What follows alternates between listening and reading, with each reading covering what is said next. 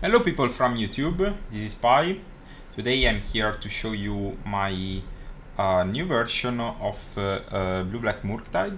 It's not very um, different from the previous list. I think uh, the ban of uh, Nadu and Grief um, impacted um, with uh, good changes for, for the format because I think, as I explained in the previous videos, that a lot of decks that previously uh, weren't playable due to an Nadu or Grief now will rise, for example Amulet uh, or, or um, decks uh, with rings, uh, Yawgmoth, etc. So I think uh, usually has a good matchup versus those because we have um, fast, uh, fast threat and a lot of interactions. But uh, also I think that uh, Boros and Mardu will grow in numbers, so just wanted to keep uh, um, a lot of cards versus those.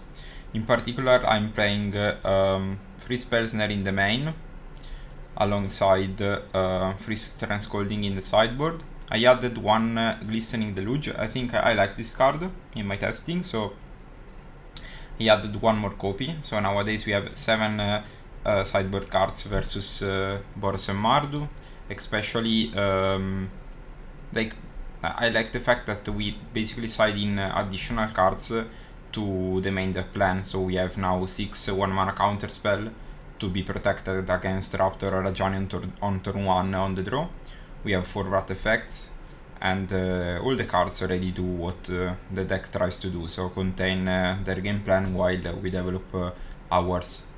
Um, I know that some ring, some players started to play Ring uh, in Boros, that's why I'm playing one consign to memory in the main. I also think that nowadays Eldrazi will be big, so having one consign to memory, I tried this in the past in the main deck and it was a fine sideboard card, uh, and but also a decent main deck card, and I think uh, it's good. Um, we, when it's not good, you can just discard it with a Psychic Frog. Then I'm playing Go for the Throat, mostly because uh, um, I'm worried about the mirror now. I think this deck really gained uh, popularity and it will be more played, so Go for the Throat is good in mirror and it's also good versus Eldrazi.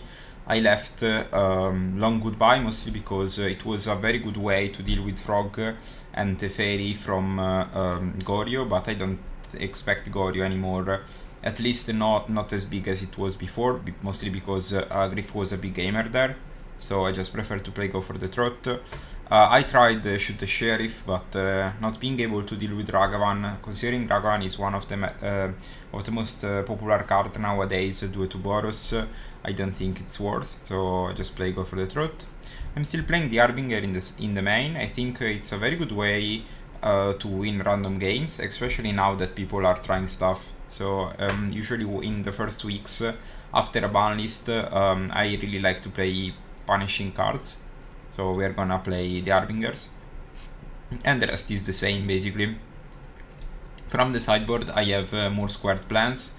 So I have uh, this plan versus Boros. Versus Eldrazi I just side uh, those 6 cards. Of course you have uh, one more copy of this in the main, so the, the matchup should be probably problematic maybe in the main deck, considering we also have a Harbinger, so I think it's kinda even but post board uh, you basically try to break uh, whatever they do by attacking their mana and attacking the stack. Then we have uh, Extirpate, especially for uh, Jeskai or uh, um, control decks that uh, just have Phlage as a win condition. Because if you analyze uh, um, Jeskai control, uh, the only way they can win games is looping Phlages. So even if you don't have a real way to deal with the ring, um, you can just extirpate a Phlage. And I think extirpate is uh, also valuable versus uh, um, other decks that uh, will be popular and they just play Phlage as wincon. And uh, as last card I'm, I'm playing uh, Nihil Spellbomb for fair Phlage decks for Boros. The rest is uh, you just overlap cards of course because Consign to memory is also strong versus control decks with rings etc uh, for the sideboard uh, in the mirror, I think I would side uh, Free Scalding and one Spellbomb, and uh, and that's it. So we just you just cut some cards that doesn't do much, so you can cut the consign, some um, some cantrips, uh, the forces, etc. So I really like the, the sideboard plan.